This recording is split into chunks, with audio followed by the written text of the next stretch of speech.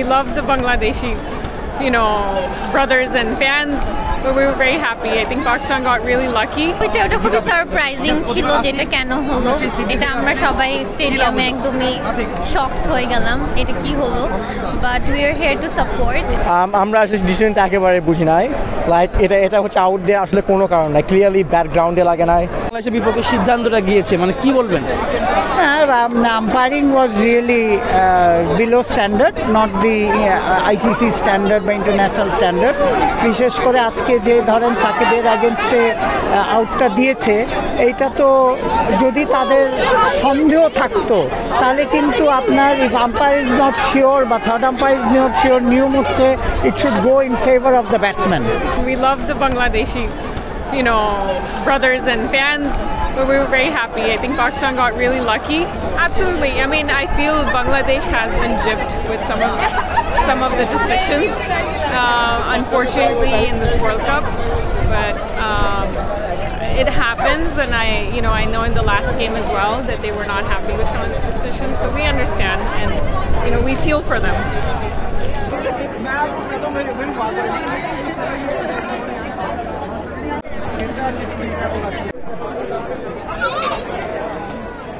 সবসময় আমাদের এগেনস্টে মেবি বিকজ আমরা ছোট টিম বাট এরকম একটা সময় আসবে যেখানে আমরাও অনেক বড় টিম হব এবং এইসব এইসব জিনিসগুলো আমরা ফাইট করব আমরা রিভিউগুলো ফাইট করব। অনেক কিছু হয়েছে এই ওয়ার্ল্ড কাপে যেটা মানে ইন্ডিয়াকে ফেভার করা হোক অন্য বড় বড় টিমদেরকে ফেভার করা হোক বাট ইনশাল্লাহ ভবিষ্যতে আমরা এগুলা লাগবে না আমাদেরকে। আমাদের ফিফটি ফিফটি সমস্যা হলেও আমরা পার হয়ে যাব. আহ, বাংলাদেশ হেরে গেল ম্যাচ আম্পায়ারিং এর সিদ্ধান্ত নিয়ে কি বলবেন? এটা খুবই আনফেয়ার ছিল খুবই- আনএক্সপেক্টেড ছিল আমরা হার্ট ব্রোকেন বাট সাকিবের আউটটা ওটা ওখান থেকে মনে হচ্ছিল না হয়েছে।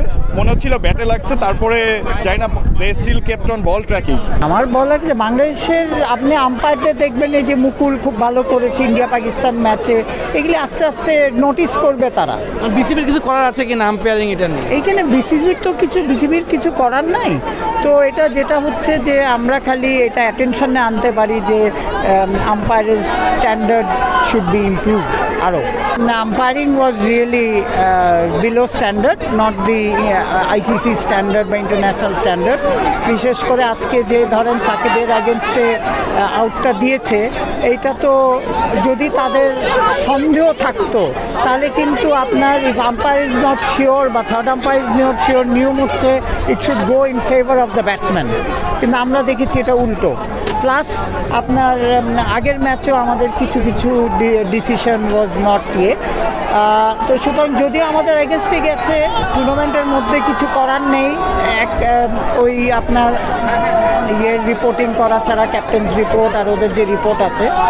বাট আই থিঙ্ক ইয়ের যে প্রসিডার আছে আইসিসির সেই প্রসিডার অনুযায়ী তারা ওই, তারা তো ইভ্যালুয়েট করে আম্পায়ারদের সেটাতে নিশ্চয়ই এগুলি তারা দেখবে এবং ভবিষ্যতে আরও কেয়ারফুল হবে আরও বেটার আম্পায়ার ইউজ হবে আমরা আসলে ডিসিশনটা একেবারে বুঝি নাই।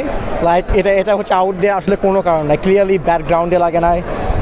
We are very disappointed with the decision but এটা আসলে কিছু করার না। ক্রিকেট এইরকমই খেলা এটা এটা হইতেই পারে। ওইটা ওটা খুবই সারপ্রাইজিং ছিল যেটা কেন হলো। এটা আমরা সবাই স্টেডিয়ামে একদমই শকড হয়ে গেলাম এটা কি হলো। But we are here to support and hopefully I don't.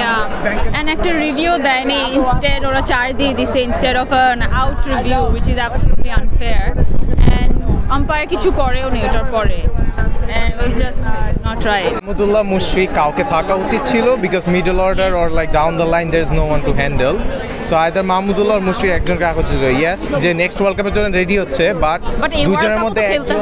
দুইজনকে রাখা উচিত ছিল হ্যাঁ।